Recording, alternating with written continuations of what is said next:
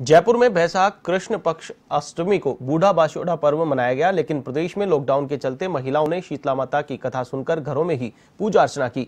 बता दें कि इस दिन माता को ठंडे पकवान का भोग लगाया जाता है। वहीं लॉकडाउन के चलते चाकसू में शीतला माता मंदिर में भी सजावट व अन्य कार्यक्रम को रद्द किया गया।